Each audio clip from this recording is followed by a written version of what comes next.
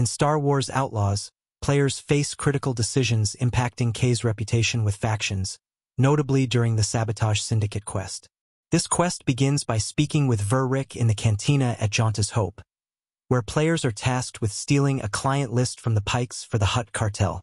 Upon meeting Manda, Verrick's contact, players discover her allegiance to Crimson Dawn. They must then choose to double-cross the Hutts or finish the job. The decision doesn't alter the storyline but affects faction relationships and rewards. Refusing Manda's offer requires killing her and grants a larger reputation boost with the Hutts, alongside 1,000 credits. Conversely, double-crossing the Hutts yields 750 credits and improves standing with Crimson Dawn. Players should consider their existing faction alignments. Siding with the Pike suggests finishing the job, while those aligned with Crimson Dawn might benefit from betrayal, balancing immediate gains with long-term alliances.